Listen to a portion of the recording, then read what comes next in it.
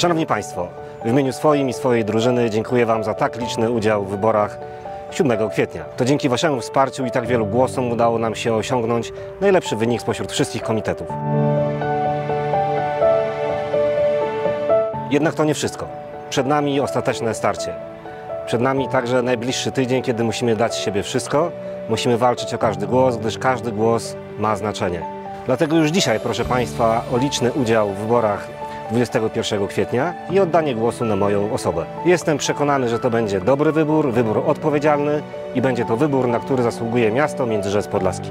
Dziękujemy! Liczę na Wasze głosy.